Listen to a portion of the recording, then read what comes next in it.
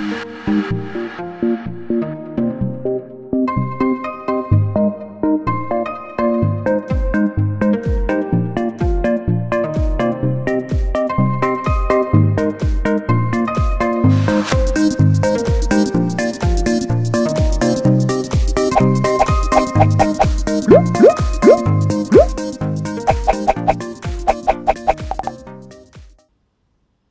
let's move to elements of culture. The first one, history. Over 2000 years ago, the Roman orator Cicero remarked that history provides the guidance of daily life. The stories from the past offer the members of a culture part of their identity, values, rules of behavior, and the like. So, history highlights the culture's origins and tells its members what is deemed important and identifies the accomplishments of the culture of which they can be proud. Example The lesson of the Holocaust, the Spanish conquest of Mexico, the building of the Great Wall of China, American Revolution. All those stories that are special to their respective cultures and help explain contemporary perceptions held by members of those cultures. Second, religion. A dominant, organized religion within which salient beliefs and activities, rites, rituals, taboos, and ceremonies can be given meaning and legitimacy. Parkes, Laungani, and Young, 1997. The influence of religion can be seen in the entire fabric of a culture, since it serves so many basic functions, including social control, conflict resolution, reinforcement of group solidarity, explanations of the unexplainable, and emotional support. Third, values. Critical to the maintenance of culture as a whole because they represent the qualities that people believe are essential to continuing their way of life. Peoples and Bailey 2009. Culturally defined standards of desirability, goodness, and beauty that serve as broad guidelines for social living. Macionis 1998. Keyword of cultural values is guidelines. Example, Korean and American Indian cultures. The elderly are highly respected and revered, while United States, the emphasis is on youth. Fourth, social organizations, sometimes referred to as social system or social structures, represent the various social units contained within the culture, such institutions including the family, government, schools, and tribes. It helped the members of culture organize their lives. Social structures reflect our culture. For example, whether we have kings and queens, or presidents and prime ministers. Within our social structure, furthermore, culture assigns roles to the various players. Expectations about how individuals will behave, what they will stand for, and even how they will dress. And the last element of the culture is language. Without our capacity for complex language, human culture as we know it could not exist. Haviland and his colleague 2005. Not only does language allow the members of a culture to share ideas, feelings, and information, but it is also one of the chief methods for the transmission of culture.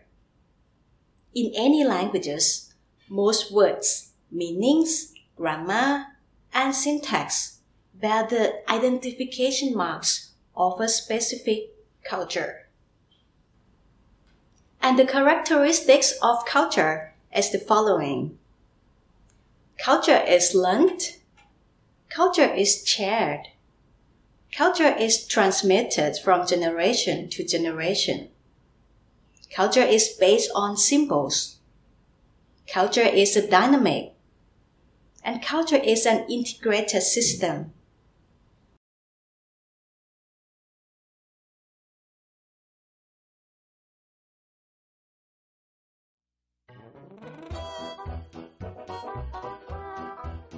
Culture is the system of shared beliefs, values, customs, behaviors, and artifacts that the members of society use to cope with their world and with one another, and that are transmitted from generation to generation through learning.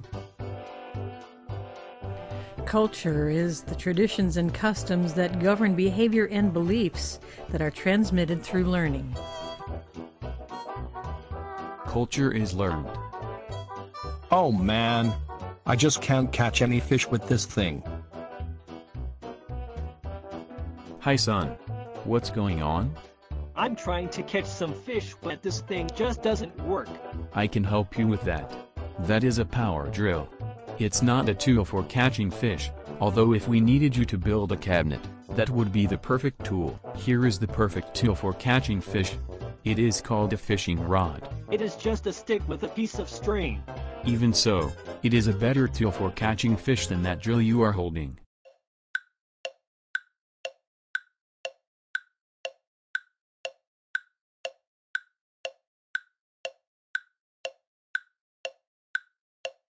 I think my tool would have been faster. Electricity hasn't been invented yet, but if it had, you would have electrocuted yourself trying to fish with a power tool. Observe. Here's a fish now. Today not only have you learned how to catch a fish, you also learn patience. I think I will become a vegetarian until someone invents electricity. If it isn't learned, it isn't culture. Culture is shared. You need to eat all your vegetables Miranda. Think of the starving children in Africa. You had better eat yours too son. Remember the starving children in Nazi Germany. Children nowadays have no idea how hard we had it during the war. Culture is shared. Culture is an attribute of individuals as members of groups. Culture is symbolic. A symbol is something, verbal or non-verbal, that arbitrarily and by convention stands for something else, with which it has no necessary or natural connection.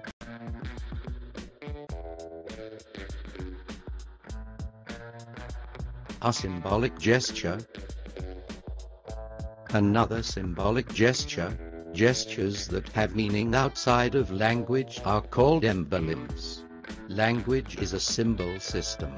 There is no necessary or natural connection between the sounds we utter and the meaning they have for us.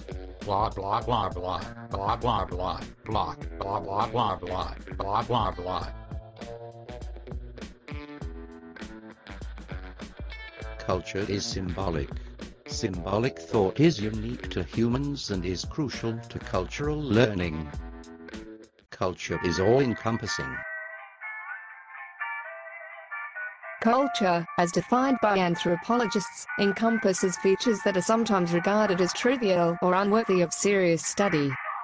The most interesting and significant cultural forces are those that affect people every day of their lives, particularly those that influence children during enculturation. Culture is all-encompassing. Anthropologists take a broad view of culture to include even seemingly trivial things. Culture is integrated. We already have a religion. But our God is very powerful. He give heap big blessings on his people. Your God says we can only worship him. Your God says we are separate from the earth and sky, the plants, and all the animals. That's correct. You are special in God's eyes. God placed men on the earth and made them rulers over it, to do whatever they want with the earth, plants and animals. We believe we are part of the earth, the sky, and the plants and animals. We are their brothers and sisters. We are not better than the buffalo, the buffalo is our brother. That's a load of primitive nonsense. Your beliefs are pagan. You and your people will all go to hell when you die if you do not accept my religion. Your religion, your talking leaves, and your mean-spirited, jealous, angry God do not fit in with our way of life. We do not believe there is this hell you describe. Great Spirit is not angry, nor vengeful, nor jealous, but loving and kind.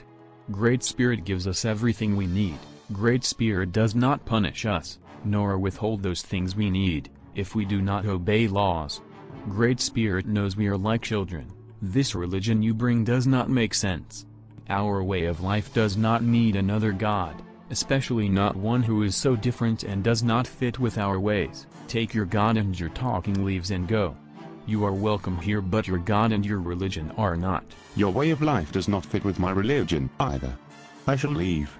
But if you should change your mind, send a messenger to the mission, and I will come. Don't hold your breath, pale face. Cultures are integrated. They are organized around a set of core values, key, basic, or central values. New ideas that don't fit with these core values are rejected.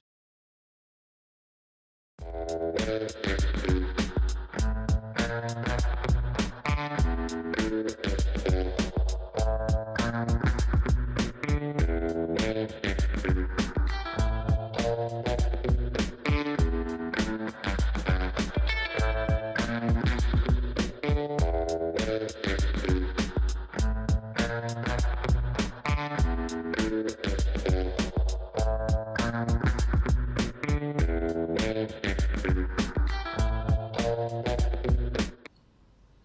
conclusion, cultures are a shared system of symbols, beliefs, attitudes, values, expectation, and norms of behavior.